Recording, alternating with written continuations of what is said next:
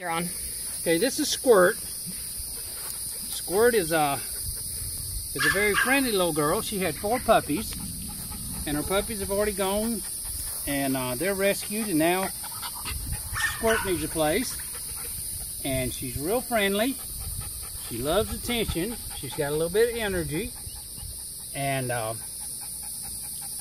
she does. Uh, she gets along fine with other dogs. She's had a roommate since she's been here. I've had her out with uh, with my dogs running loose, and and they'll come and play with her. Come on, come here, girl. You can see you can see her in a moment.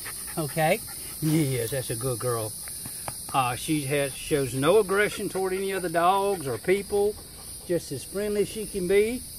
The uh, you do have to if you go give treats to dogs, you need to make sure that that you got her away a little bit or watch them because she'll take the other dog's treats in a skinny moment. She's quick.